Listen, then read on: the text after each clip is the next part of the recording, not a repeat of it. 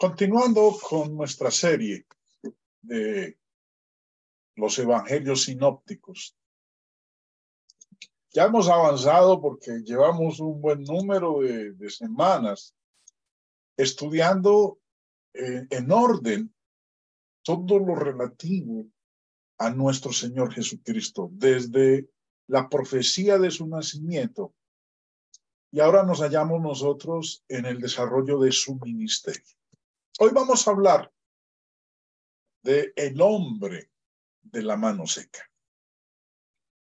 Los relatos combinados de Mateo, Marcos y Lucas nos dan a nosotros una imagen clara de lo que sucedió cuando nuestro Señor entró en una sinagoga en otro día de reposo.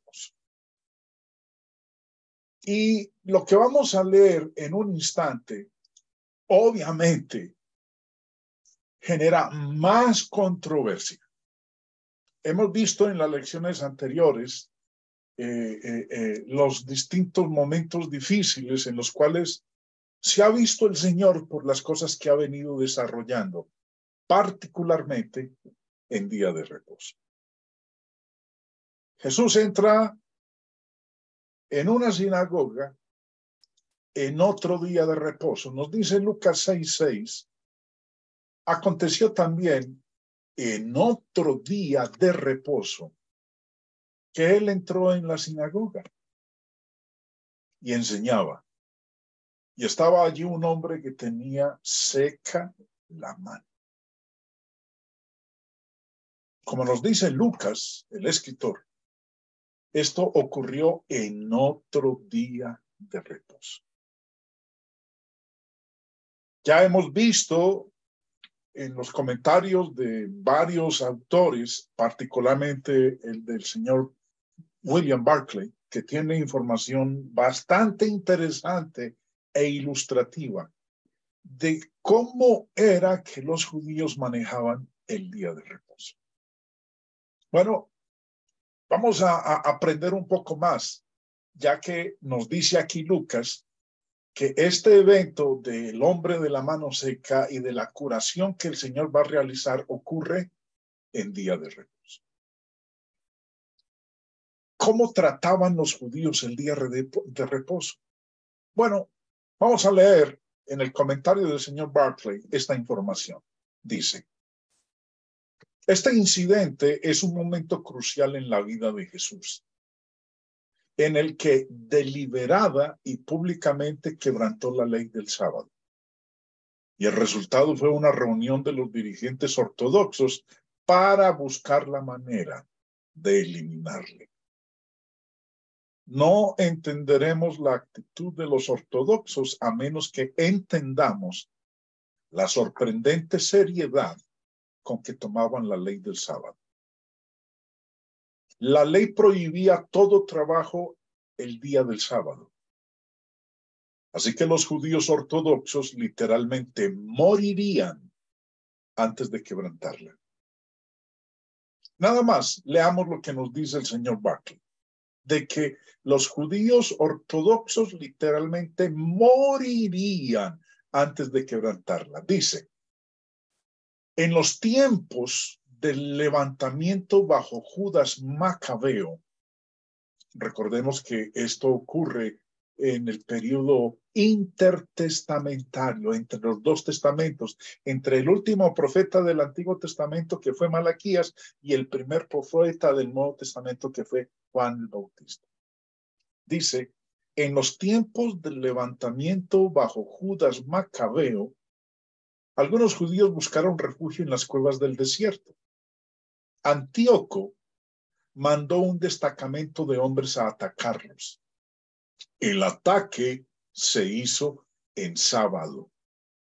Y aquellos insurgentes judíos murieron sin hacer el menor gesto de lucha o de defensa, porque a ellos no les estaba permitido pelear en sábado. Primera de Macabeos nos cuenta que las fuerzas de Antíoco les dieron la batalla a toda prisa. Si usted tiene una versión de la Biblia con los libros apócrifos, lo invito para que lea Primera de Macabeos. Es más, cuenta el señor Barclay respecto a Primera de Macabeos.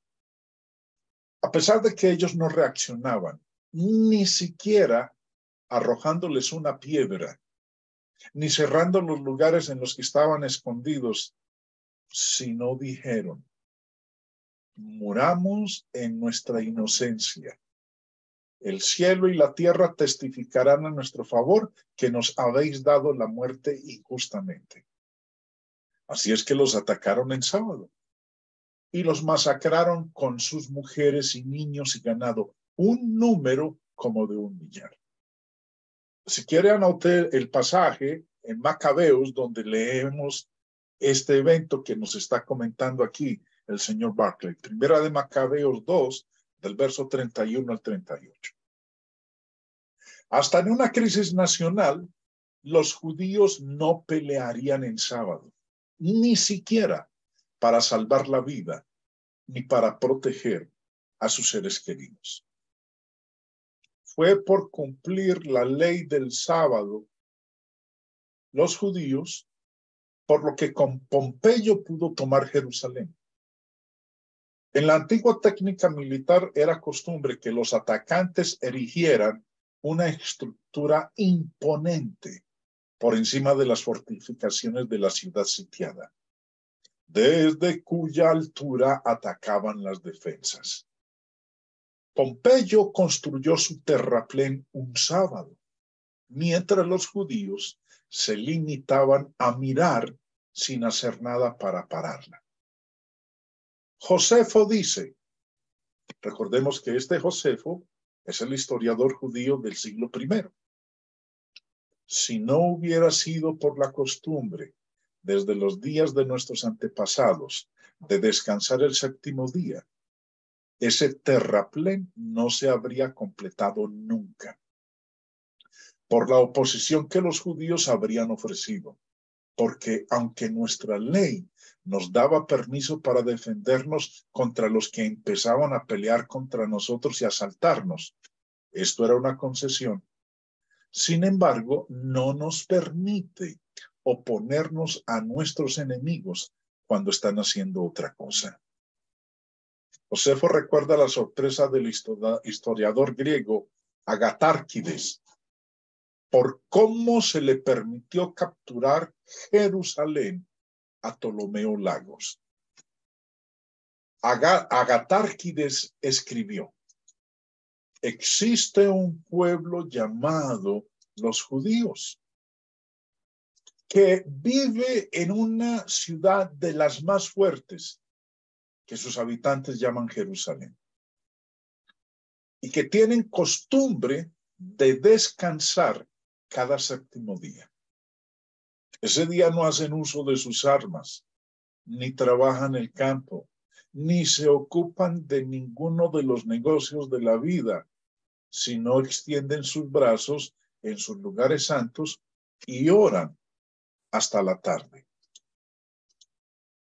Ahora bien, sucedió que cuando Ptolomeo, el hijo de Lagos, llegó con su ejército a esa ciudad, aquella gente cumpliendo con su locura, con su loca costumbre, en vez de guardar la ciudad, permitieron que su país fuera sometido a un señor cruel. Y se demostró claramente que su ley les había impuesto una práctica estúpida. Este suceso enseñó a todos los hombres, menos a los judíos, a descartar tales sueños y a no seguir semejantes sugerencias perezosas transmitida como una ley, cuando en tal incertidumbre de razonamiento humano no saben lo que deben hacer. La observancia rigurosa de la ley del sábado por los judíos les parecía a las demás naciones sencillamente una locura, puesto que podía conducirlos a derrotas y desastres nacionales tan sorprendentes. Era con esa actitud mental absolutamente inamovible con lo que se enfrentaba Jesús. La ley prohibía expresamente curar en sábado. Es verdad que la ley establecía expresamente que todos los casos de peligro de muerte dejan en suspenso a la ley del sábado. Este era el caso particularmente de las enfermedades del oído, la nariz, el cuello y los ojos. Pero aún entonces se establecía con igual claridad que se podían tomar medidas para que el paciente no se pusiera peor, pero no para mejorarle. Así es que se podía poner una venda en una herida, pero no se podían aplicar medicinas. En este caso, no era cuestión de que la vida del paralítico estuviera en peligro. Tampoco se podía suponer que estuviera peor al día siguiente. Jesús conocía la ley, sabía lo que estaba haciendo, sabía que los fariseos lo estaban observando y acechando y sin embargo sanó al hombre. Jesús no estaba dispuesto a aceptar ninguna ley que impusiera el que una persona tuviera que sufrir, aunque fuera sin peligro de muerte, ni un momento más de lo necesario. Su amor a la humildad sobrepasaba su respeto a la ley ritual. Más información que tenemos, hermanos, gracias al señor Barclay en su comentario, de cómo era la postura de los judíos en cuanto a la guarda del día de reposo, del sábado. Ahora, como estamos leyendo nosotros esta porción de Lucas 6 del hombre de la mano seca, nos dice a nosotros el texto que este hombre, la mano que tenía seca era la mano derecha. Y es un detalle bastante, interesante en la historia, porque en Mateo 2, el, el, el, texto paralelo y en Marcos capítulo 3, que es el otro texto paralelo de este evento, no menciona cuál era la mano que estaba seca. Solamente lo hace el Evangelio de Lucas. Aquí habla el médico. Recuerden que Lucas era médico y está hablando aquí el médico interesado en todos los detalles del caso. Bueno, los escribas, los fariseos, estaban observando a Jesús con mucha atención. Dice el verso 7.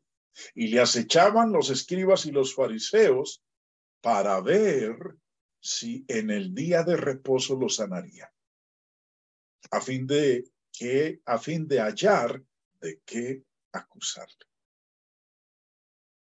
Incluso haciéndole una pregunta. comentario del señor Barclay dice lo siguiente. En la sinagoga se encontraba una delegación del Sanedrín, el concilio judío. Eran inconfundibles porque los primeros asientos eran los sitios de honor y allí se encontraban. Uno de los deberes del Sanedrín era descubrir y pararle los pies a cualquiera que pudiera descarriar al pueblo, apartándolo del camino correcto. Y eso era precisamente lo que aquella delegación consideraba que estaba haciendo Jesús. Lo que menos les interesaba era el culto o la predicación de la palabra de Dios. Estaban allí para investigar las acciones y las palabras de Jesús con la intención de eliminarle. Pero los escribas y los fariseos también estaban allí. No les importaba el hombre con el brazo paralítico. Solo les importaban las minucias de sus leyes y normas. Así es que le preguntaron a Jesús, ¿está permitido curar en sábado? Jesús conocía perfectamente bien la respuesta oficial a esa pregunta. Sabía que, como ya hemos visto, a menos que hubiera peligro de muerte, la atención médica estaba prohibida porque se consideraba un trabajo. Entonces, pregunta, hermanos, habiendo llegado hasta aquí, ¿qué haría el Señor? ¿Cómo, cómo procedería viendo que aquí están estos escribas y estos fariseos, intérpretes a raja tabla de la ley de Moisés, que condenaban cualquier tipo de acción en el día de reposo, aún procurando la sanidad de un enfermo. Bueno, el Señor Jesús le da una orden al hombre de la mano seca. Dice el verso 8, mas él conocía los pensamientos de ellos, de estos escribas y fariseos. Y dijo al hombre que tenía la mano seca, levántate y ponte en medio. Y él levantándose, se puso en pie. Jesús sabía que se iba a meter en problemas.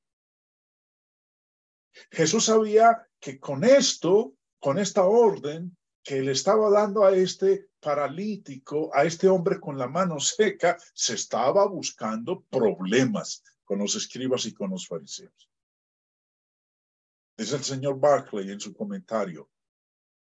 Él sabía muy bien que el curarle en sábado era buscarse problemas.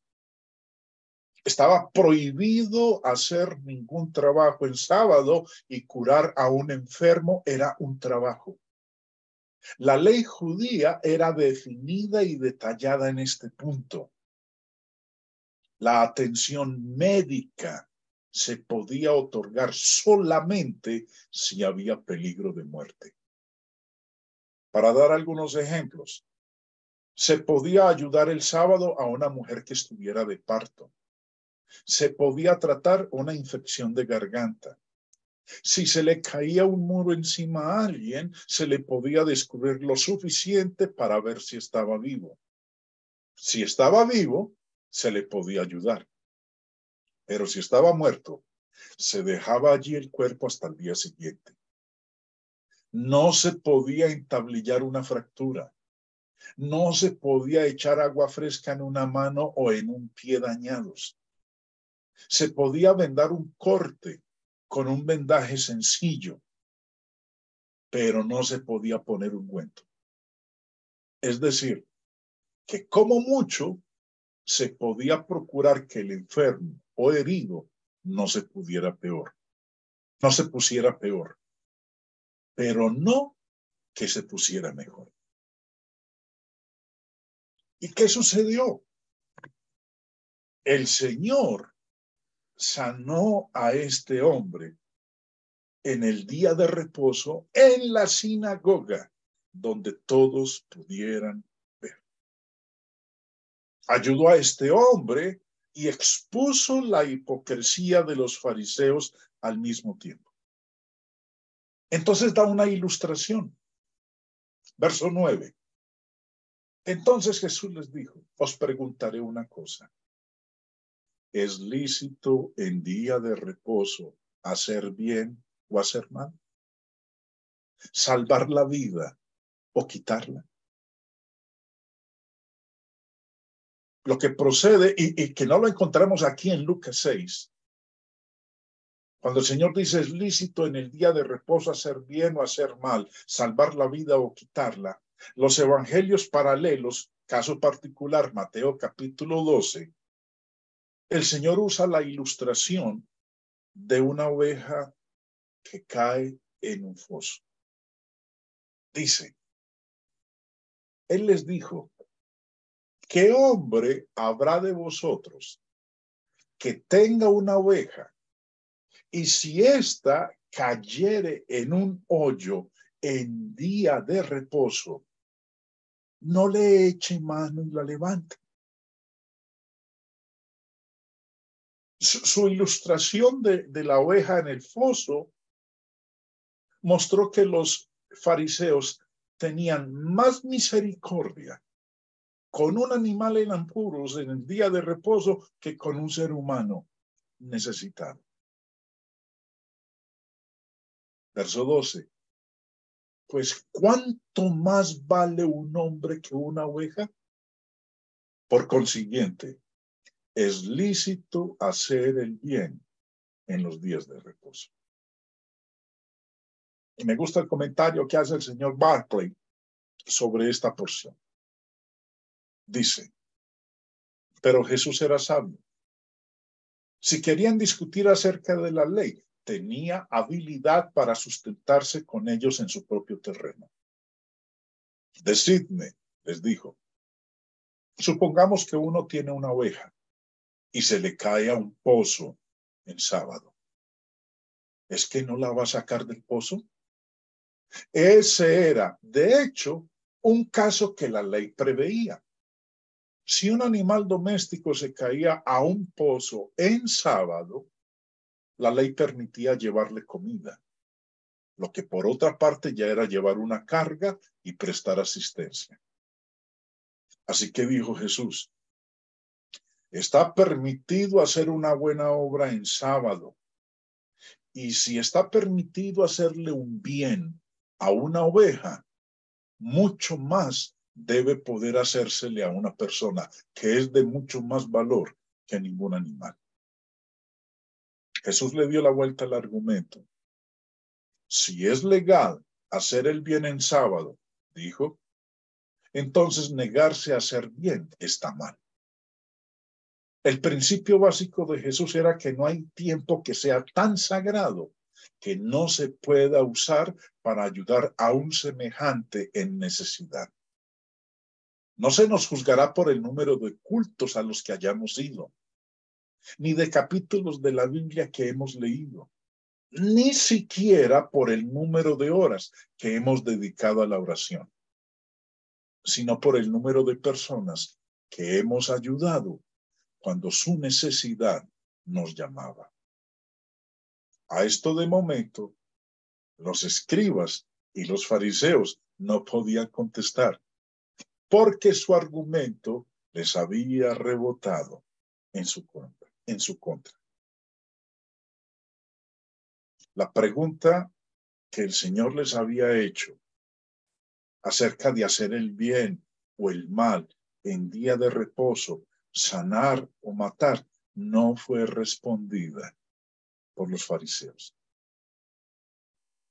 Dice Marcos 3:4, y les dijo, es lícito en los días de reposo hacer bien o hacer mal, salvar la vida o quitarla, pero ellos callaron. Y Jesús sabía que el silencio de ellos era debido a la dureza de sus corazones. A veces nosotros nos comportamos también de la misma manera. Comenta el señor Barclay. Para los fariseos, religión era ritualismo. Consistía en obedecer ciertas reglas y normas. Jesús quebrantaba aquellas reglas y ellos estaban genuinamente convencidos de que era una mala persona eran como el que cree que la religión consiste en ir a la iglesia, leer la Biblia o rezar, dar gracias a Dios antes de las comidas, hacer el culto familiar o rezar el rosario y llevar a cabo todos los actos externos que se consideran religiosos. Y que sin embargo, nunca está dispuesto a hacer nada por nadie que no siente ninguna compasión ni tiene ningún deseo de sacrificarse por nadie, que tiene bastante con su religiosidad y que es sordo a la llamada de la necesidad y ciego a las lágrimas del mundo. Para Jesús, religión era servicio. Antes de continuar con la lectura, nada más recordemos la canción de eh, Arjona. Dios es verbo, no sustantivo. O como lo dice aquí el comentario del señor Barclay, para Jesús religión era servicio, era amar a Dios y amar a las personas. El ritual era irrelevante comparado con el amor en acción. Para Jesús, la cosa más importante del mundo no era llevar a cabo correctamente un ritual, sino la respuesta espontánea al clamor de la necesidad humana. Siempre está presente el peligro de poner la lealtad al sistema por encima de la lealtad a Dios.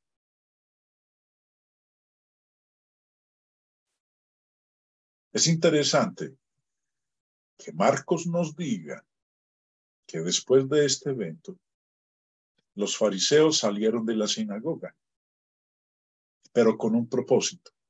Dice el versículo 6, y salidos los fariseos, tomaron consejo con los herodianos contra él para destruirle.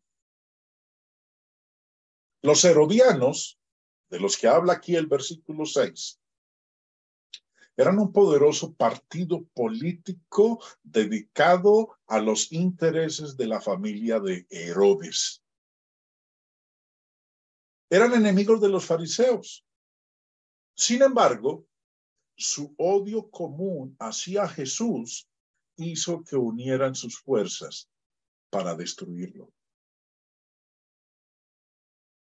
Este grupo, los herodianos, son mencionados solamente tres veces en las escrituras.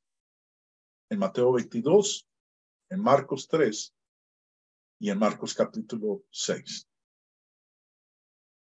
Son mencionados en Mateo y en Marcos en conexión con los varios esfuerzos para entrampar a Jesús el jueves de la semana de pasión. Aquí, donde estamos en este momento, en Marcos 3, unen sus manos con los fariseos para destruir a Jesús. Sin embargo, los herodianos no son mencionados por fuera de los evangelios en alguna literatura existente. Los evangelios no dicen nada acerca de ellos. Hasta donde podemos decir por su nombre, eran nada sino un partido político que apoyaba a la dinastía herodiana. Esta fue una alianza extraña, ya que fariseos y herodianos eran enemigos por naturaleza. Los herodianos, un partido político, estaban a favor de las costumbres griegas y la, y la ley romana. En cambio, los fariseos, un grupo religioso, detestaban todo lo relacionado con la cultura extranjera y deseaban establecer un modo de vida totalmente judío. Estos dos, estos dos grupos, los fariseos los herodianos, sumaron fuerzas cuando intentaron tender una trampa a Jesús en la cuestión del pago de impuestos al imperio romano. Y fue cuando el Señor respondió, dad a César lo que es de César y a Dios lo que es de Dios. Y aunque estos dos grupos no simpatizaban entre sí, sí estaban dispuestos a trabajar juntos para librarse de Jesús, a quien ambos consideraban un enemigo peligroso. Ahora, Jesús estaba al tanto de la trama que estaban haciendo los fariseos y los herodianos. Por eso, lo siguiente que nos dicen los evangelios, después de la sanidad que el Señor realiza en otro día de reposo a este hombre de la mano seca, es que al Señor empezaron a seguirle grandes multitudes. Mateo 12 dice, empezando en el verso 15, sabiendo esto Jesús, o sea, pues la trama que estaban haciendo los fariseos y los eh, eh, herodianos, se apartó de allí, salió de la sinagoga Y le siguió mucha gente y sanaba a todos. Y les encargaba rigurosamente que no le descubriesen para que se cumpliese lo dicho por el profeta Isaías. Lo que vamos a leer a continuación es una cita que el Señor Jesús hace del capítulo 42 de Isaías, específicamente los versículos 1 al 4. No vamos a leerlo, Isaías, pero sí vamos a leer la cita que el Señor aquí en Mateo capítulo 12 hace de Isaías 42. Declara de la siguiente manera. He aquí mi siervo, a quien he escogido, mi amado en quien se agrada mi alma. Pondré mi, pondré mi espíritu sobre él y a los gentiles anunciará juicio. No contenderá, ni voceará, ni nadie oirá en las calles su voz. ¿Qué, ¿Qué, es lo que significa este versículo 19? Hablando del amado de Dios del escogido, del siervo de Dios, sobre quien Dios pondría su espíritu. señor Barclay comenta lo siguiente respecto de este verso 19. Él no se enfrentaría con nadie, ni gritaría de forma que se le oyera por las calles. La palabra que se usa para gritar se usa corrientemente del ladrido de los perros, el graznido de los cuervos, el escándalo de los borrachos, la bronca de la audiencia descontenta en el teatro. Quiere decir que Jesús no se pelearía con la gente. Ya conocemos los enfrentamientos de los partidos rivales en los que cada uno trata de superar con sus gritos lo del otro. El odio de los teólogos es una de las tragedias de la historia de la iglesia cristiana. Ya tenemos bastante con las peleas de los políticos y sus ideologías, y con todos los tipos de oposiciones características de la cultura española. En Jesús se da la callada, inalterable serenidad del que busca conquistar mediante el amor y no por la logomaquía o demagogia. Continúa diciendo en la cita que el Señor está haciendo de Isaías capítulo 42. Dice a continuación en el versículo 20, la caña cascada no quebrará y el pábilo que humea no apagará hasta que saque a victoria el juicio. El siervo, el amado del Señor, no gritaría, no saldría de una manera vocinglera, exponiendo sus pensamientos, no discutiría con nadie. Y otra cosa que no haría es que él no quebraría a la caña cascada. La imagen que ustedes están observando en pantalla aparece una caña, pero no está erguida, está inclinada. La parte superior está inclinada hacia abajo. Y la caña cascada sugiere a un hombre oprimido por el pecado o la desgracia que Jesús no destruiría mientras busca perdón y ayuda. Por eso dice, no quebrará la caña cascada, no quebrará. La caña cascada simboliza la debilidad, simboliza la falta de estabilidad. Es emblema de los pobres, de los oprimidos. En lugar de oprimir a los pobres y necesitados, como suelen hacer los conquistadores mundanos, Jesús cumplió esta profecía ayudando y sanando a los enfermos, los cojos, los ciegos y otros muchos necesitados.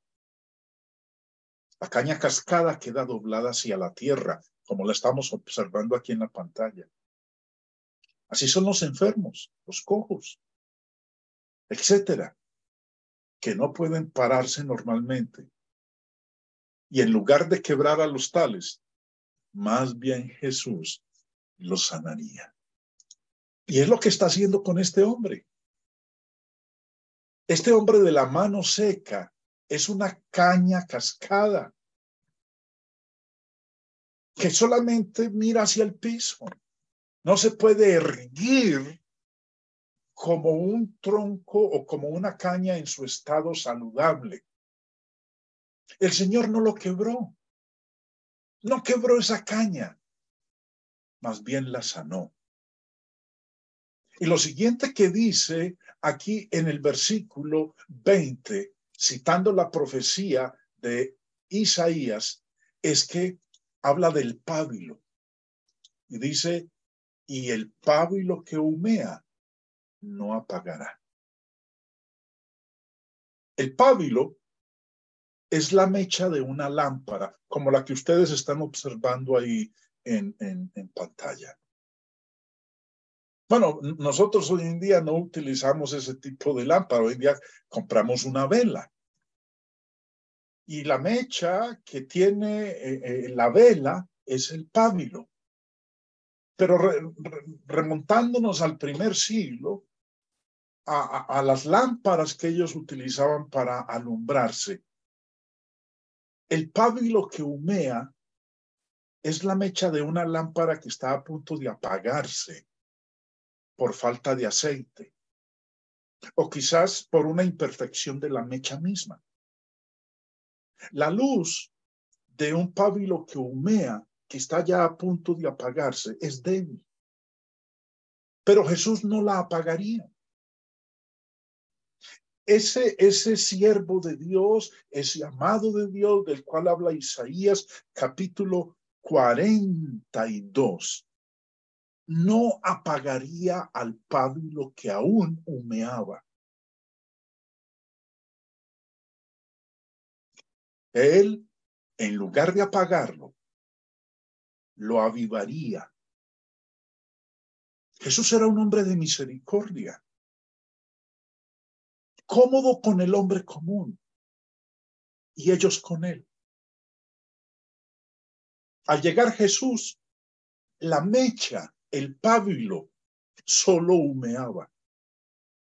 Pero en lugar de apagarla, Jesús la restauraría para que diera luz otra vez.